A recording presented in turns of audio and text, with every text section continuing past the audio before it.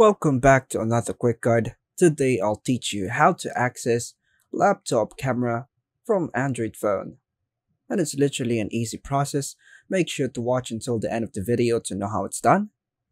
Accessing your laptop camera from an Android phone can be useful for various purposes such as remote monitoring, video conferencing, or using your laptop as a security camera. Here are several methods to achieve this. Since I'm using PC, I think these steps are similar on laptop.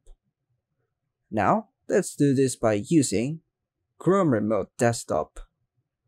Chrome Remote Desktop is another reliable option to access your laptop from your Android device. Now, on your laptop, open Chrome on your laptop and go to the Chrome Remote Desktop link in the description below. Follow the instructions to set up Chrome Remote Desktop. Click on Turn On. Enter a name on your desktop. Then hit Next. Now, choose your pin. Then hit Start. Now, access the camera app. Make sure your webcam is working. Now, let's go to our Android phone.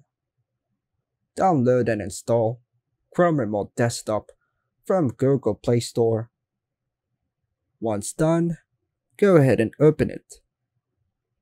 Choose your laptop from the list of available devices. Wait for a moment. Enter the pin you set up earlier on your laptop. Once connected, you can control your laptop and access camera through applications that use the webcam.